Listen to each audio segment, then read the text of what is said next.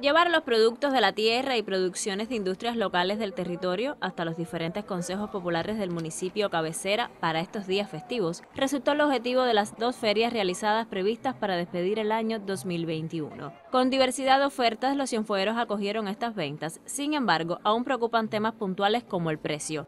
Inquietud que fue escuchada por las máximas autoridades del partido y el gobierno en la provincia. Aquí hay varias opciones, aquí no se puede quedar nada, afuera hay varias cosas y aquí mira la cantidad de cosas que hay, buen precio tiene todo y, ellos tienen un trato muy bueno. Yo lo veo que están muy bien, además son muy bien organizados.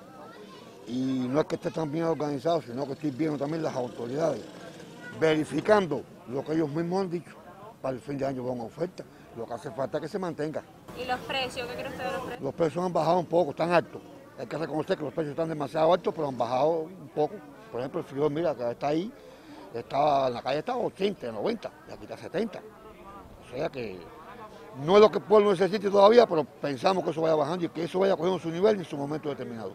Siempre hay sus cosas, pero yo lo encontré maravilloso. Compré muchísimas cositas eh, y fue, bueno, te digo, una cosa asequible. Me gustó, me encantó. Hay variedad de productos, pero los precios no, no, equivalen.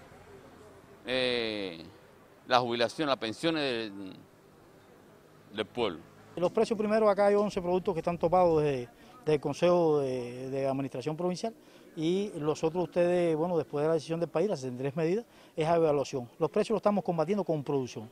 La única regla matemática que existe para bajar precios es producción. Mientras más logremos producir en nuestra provincia, los precios van a ir bajando. Así se pudo ver en el día de ayer. Ayer abrimos con la yuca aquí a 6 pesos y en horarios de la tarde ya estaba a 2 pesos, porque ves una estabilidad, logras que, que haya permanencia, entonces eso es lo que va a bajar los precios, solamente el precio se baja con producción. Para el 30 de diciembre está prevista la ya tradicional Feria Agropecuaria, en la cual, según afirma el subdelegado de la Agricultura Provincial, se priorizarán gran variedad de viandas y hortalizas. Hemos tratado de que haya estabilidad de comida durante toda la semana.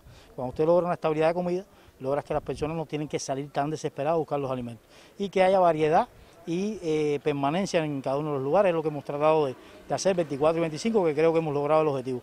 Y el día 30 vamos a hacer una feria más fortalecida, pensando más ya en el fin de año, una feria donde vamos a tratar de que las hortalizas estén presentes, estén todas las viandas, y por ahí va a estar transitando nuestra provincia en este cierre de año. Marian Cueto Groero, Notisur.